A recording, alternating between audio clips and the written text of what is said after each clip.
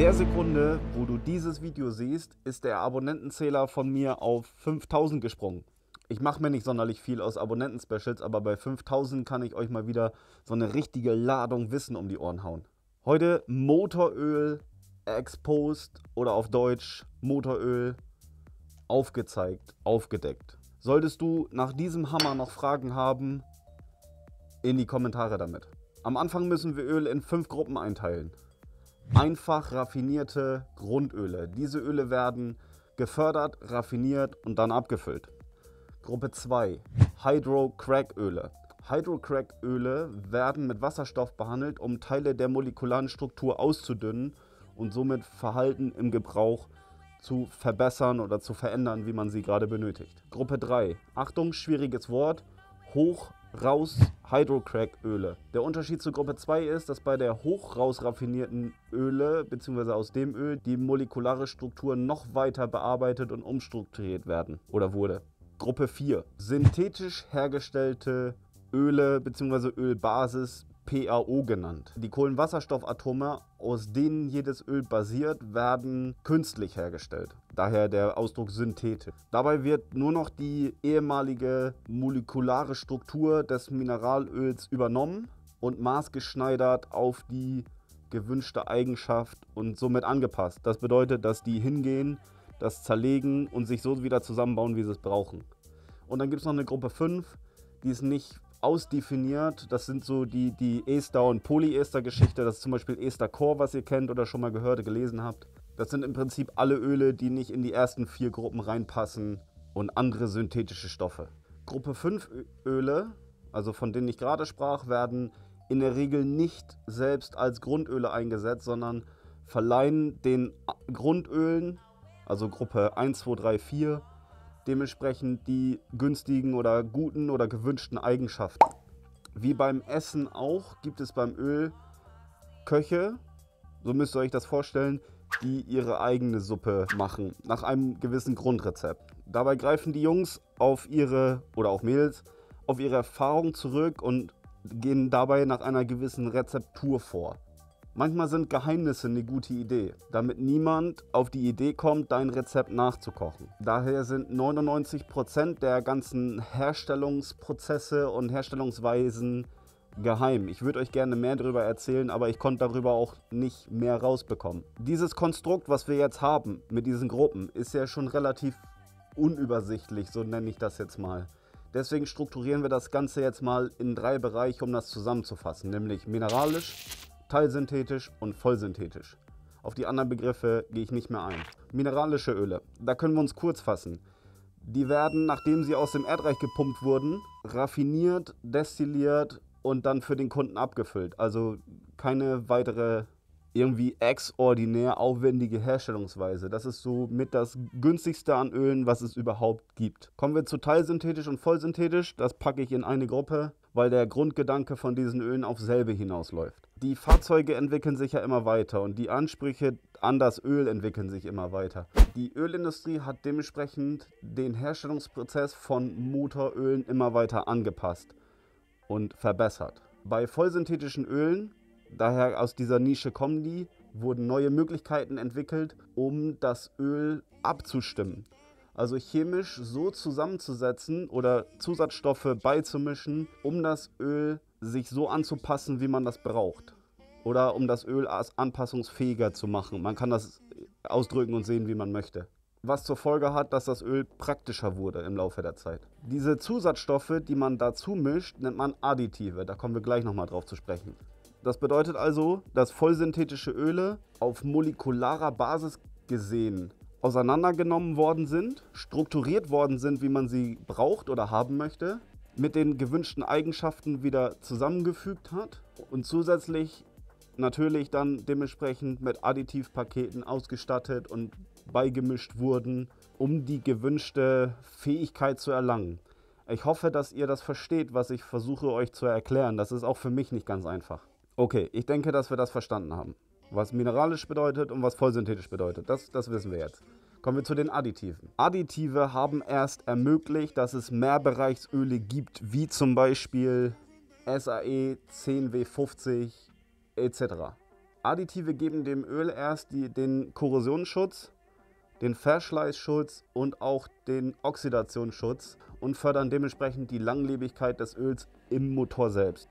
Öle, die in den Laboren entwickelt wurden, auf die ich vorhin zu sprechen kam, haben im Prinzip nichts mehr mit dem zu tun, was ursprünglich mal aus der Bohrinsel kam. Jetzt haben wir schon mal so ein, so ein, so ein verwirrendes Basiswissen. Darauf bauen wir jetzt auf. Jetzt kommt ein weiterer Begriff dazu, nämlich API. API bedeutet American Petroleum Institute, kurz API.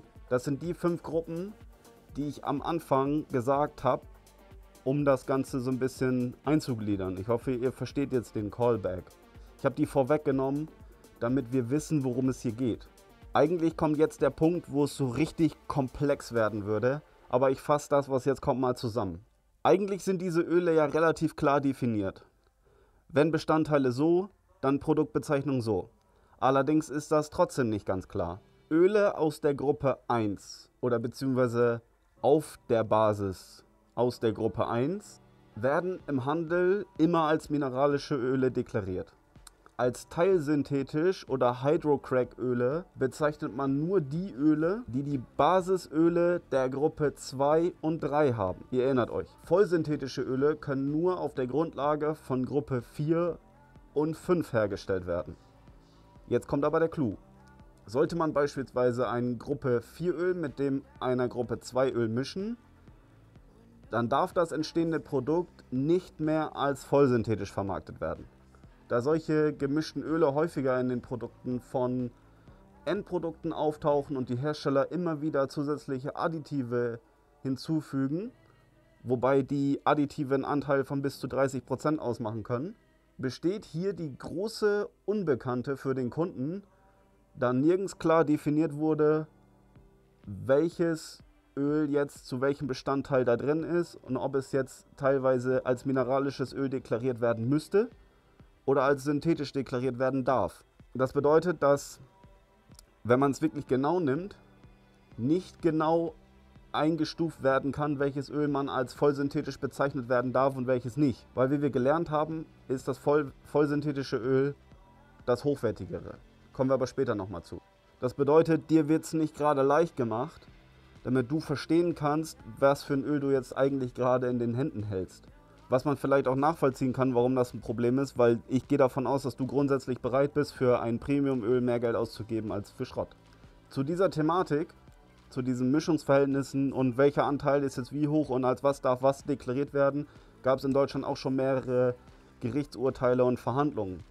Ölhersteller X hat Ölhersteller Y verklagt, weil Ölhersteller X der Meinung war, dass Öl von Firma Y falsch deklariert war. Dementsprechend war mineralisches Öl, wurde als teilsynthetisch ausgewiesen, ob, obwohl das Produkt dem nicht gerecht wurde. Seitdem steht fest, dass nur noch Öle der Produktgruppe 4 und 5 als vollsynthetisch bezeichnet werden dürfen. Das bedeutet, ist es jetzt so, dass irgendwo auf eurem Öl vollsynthetisch draufsteht, dann ist auch vollsynthetisch drin. Harter Tobak bis jetzt, ne? Ich weiß. Aber was wir wissen, wissen wir. Das heißt ja exposed und nicht mal eben schnell. Mit diesem Vorwissen können wir jetzt aber einige Fragen beantworten. Wie zum Beispiel, welche dieser Produktgruppen oder Ölen ist denn jetzt tatsächlich das Beste für uns und unsere Motoren? Und wie wir jetzt den Gruppen entnehmen können, haben wir gelernt, dass nach der Definition Öle aus der Gruppe 1 und 2, also mineralische Öle, alleine durch die geringen Herstellungskosten und Herstellungsaufwand und so weiter nicht besonders vielfältig sind in ihrer Anwendung. Ich sehe mineralische Öle eher im Bereich Trecker, Bagger, Baugeräte, alles was so in dieser Kategorie läuft, also durchschnittlich niedrigere Drehzahlen, nicht so hohe Ansprüche, Temperaturen und so weiter. Die anderen Gruppen fasse ich jetzt so zusammen. Synthetische Öle, egal in welcher Form, sind alleine schon in der Herstellung deutlich teurer, aufwendiger und dazu kommen noch die ganzen hochwertigen Additivpakete und so weiter, welche den Preis natürlich ansteigen lassen, aber deutliche Mehrwerte bietet im Vergleich zum mineralischen Öl. Das ist ja jetzt auch schön zu wissen, aber was sind denn jetzt die Mehrwerte von dem vollsynthetischen Öl? Synthetiköle sind auch bei niedrigen Temperaturen wesentlich besser in ihrem Fließverhalten. Beim Kaltstart wird der Motor beispielsweise schneller mit Öl versorgt. Die synthetischen Öle sind somit schneller an den Bauteilen. Außerdem, Synthetische Motoröle sind wesentlich temperaturstabiler. Bei hohen Temperaturen, also hohe Drehzahl, Volllast, alles so in die Richtung, ist der Schmierfilm wesentlich, wesentlich belastbarer selbst bei niedrigen Temperaturen ist die innere Reibung durch das vollsynthetische Öl deutlich geringer. Es wird also wesentlich weniger Energie verbraucht, um die innere Reibung zu überwinden. Ich denke, ihr versteht das. Kolbenzylinder, Verschleiß, adhesiver Verschleiß, wir sprachen da ja schon mal drüber. Und der Kraftstoffverbrauch sinkt bis zu 5% gegenüber mineralischem Öl. Dadurch, dass vollsynthetische Öle wesentlich stabiler in ihrer Struktur sind, so nenne ich es jetzt mal, hat das zur Folge gehabt, dass Ölwechselintervalle mit der Zeit immer länger gestreckt wurden. Vielleicht erinnert ihr euch, LC4 5000 Kilometer, jetzt sind wir bei einer LC8 beispielsweise bei 15.000 Kilometer Wechselintervall beim Motorrad, das müsst ihr euch mal reinziehen. Genau das bedeutet ja auch, dass die Standzeit in Motoren oder in Aggregaten erhöht oder angehoben wurde. Mir ist schon warm, euch auch?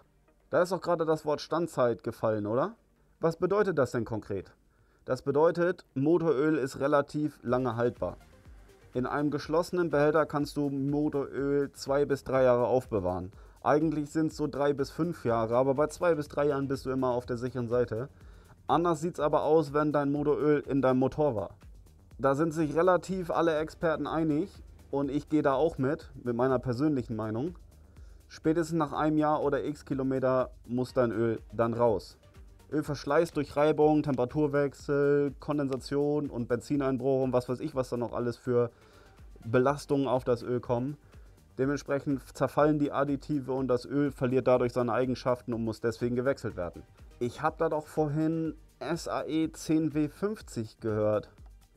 Was heißt das denn schon wieder? Motoröl mit der Bezeichnung 10W50 geht auf die SAE-Klasse zurück, nach der das Öl irgendwie mal spezifiziert wurde. Das 10W50 erfüllt die Anforderungen an ein Mehrbereichsöl. Da kommen wir gleich drauf. Mehrbereich bedeutet, dass es bei verschiedenen Temperaturen stabil läuft, so, so gesehen, funktioniert. Das bedeutet, dass Öle ganzjährig gefahren werden können. 10W bedeutet, dass das Öl eine Wintereignung bis zu minus 30 Grad hat. Die, der zweite Teil der SAE-Bezeichnung, äh, Ziffer, wie auch immer man das nennen soll, weist auf eine kinematische Energie bei 100 Grad hin. Versteht ihr? Betriebstemperatur. Diese liegt beim 10W50 im Bereich von 15,3 bis 22,8 Quadratmillimeter pro Sekunde oder irgendwie so ein Quatsch, braucht ihr nicht wissen. Und kann somit ganzjährig eingesetzt werden. Das müsst ihr wissen. Das bedeutet, wenn ihr ein 10W50 drin habt und draußen sind minus 5 Grad, würde ich, ich persönlich würde es nicht machen, aber ihr könnt theoretisch das Moped starten und fahren. Aber wer will schon bei minus 5 Grad fahren? Macht ja keinen Sinn. Alles klar. Aber wer legt denn fest, mit welcher Viskosität oder welches Öl in meinem Motorrad jetzt gefahren werden darf? Das schnell beantwortet der Hersteller. Jetzt haben wir im Bereich Motorrad eine zusätzliche Herausforderung oder Anforderung an das Öl, was das Öl mitmachen muss. Abgesehen von den üblichen Belastungen, über die wir vorhin sprachen, nämlich die Nasskupplung. Das ist ja ein Widerspruch in sich. Ein Öl, was schmiert und eine Kupplung, die nicht rutscht. Wie funktioniert das denn? Das ist die Freigabe JASO MA-2. Die Japanese Automotive Standard Organization definiert spezielle Klassen für Viertaktmotoren. Also ja, so MA2 ist für Ölbadkupplungen mit hohen Ansprüchen geeignet. Und dann gibt es dann noch so andere Freigaben. MA2 ist die derzeit höchste Norm für Motorradöle. Die ja so MA und MA1 und so ein Scheiß lassen wir außen vor, braucht ihr nicht wissen. Boah, Alter, kommen wir kurz zu meinem persönlichen Fazit. Wobei ich auch gleichzeitig ein paar Fragen beantworten möchte, die ihr mir auf Instagram gestellt habt. Natürlich kann ich nicht auf alle eingehen, aber auf alles, was ihr so meiner Meinung nach wissen müsst, gehe ich mal kurz drauf ein. Ist denn jetzt ein vollsynthetisches Öl grundsätzlich besser? Ganz klare Antwort, definitiv ja. Kann ich auch ein Autoöl ohne Yaso MA2 Freigabe in mein Motorrad kippen? Nein. Also kannst du schon, funktioniert aber nicht.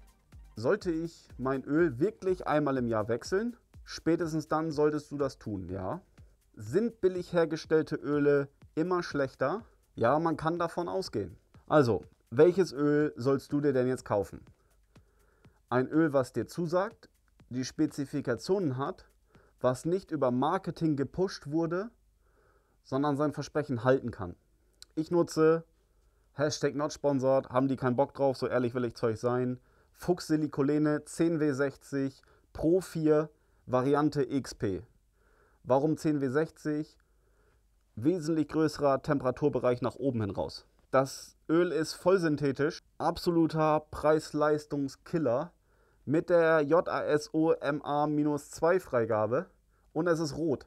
Ihr könnt euch die Specs ja gerne selbst ansehen, aber das Öl, was ich quasi überall reinkippe, das ist meine persönliche Wahl. Was du nimmst, musst du am Ende selbst wissen. Das ist jetzt dir überlassen. Aber du hast nach diesem Video sämtliches Grundwissen, so nenne ich es jetzt mal, um selbst eine kluge Entscheidung in der Zukunft treffen zu können. Ich hoffe, dass dir das eine Hilfe war.